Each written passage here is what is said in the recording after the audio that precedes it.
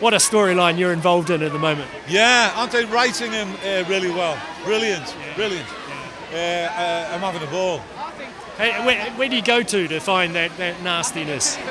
Where do, where do I go to? Well, I'm a great believer in the writing. I think it's in the, obviously I bring to the party what I bring to the party, and of course the young song heroes really are the directors. So the writers, the directors, and I get there, and it's just a pleasure to play. And the neat trick that they pulled is they've uh, created a fully dimensional character. Not all heroics, not all growling badness, a survivor. Uh, uh, so all credit to them. And he's got a bit of charm about it. Oh, I'm glad to hear you say it. we got very good boos over there, but maybe have to work on the charm a little bit, Patrick.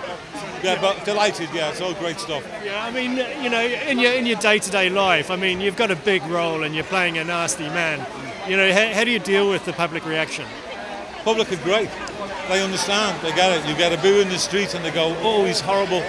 We we hate him, but we don't want him to get his comeuppance just yet. Is the general attitude. So long may that continue. Of course, eventually he will. So soap law decrees that he will. So uh, yeah, but until I'm having a ball, I'm delighted to be at Coronation Street. I know you're big into your art. You're an artist, aren't you? Yeah, and um, you know, um, how, do you, how do you find time to do that and Coronation Street?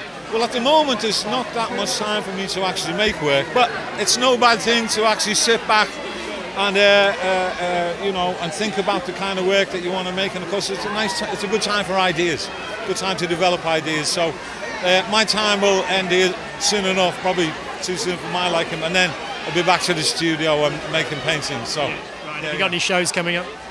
have a show at the studio that I run in Plymouth. Um, I think about March in the Alamo project in Plymouth. So, so I'm still there, slowly, slowly working away. Yeah. You don't sound like a Janner.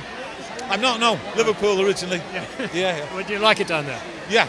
yeah, it's been good to me. Obviously, I'll always be the boy from Liverpool, but Plymouth uh, has been very good to me, and um, you know my life's there now. So. Yeah. Great, great. Right, one last question. What, how do you feel about award shows generally? Well, they're great, aren't they? Who doesn't want to get dressed up, go out and go to an award show? Yeah. Fantastic. And, and lovely to see all the colleagues off the other shows who work so hard. So it's all good. Right. Bless you, Patrick. Nice, nice talking to you.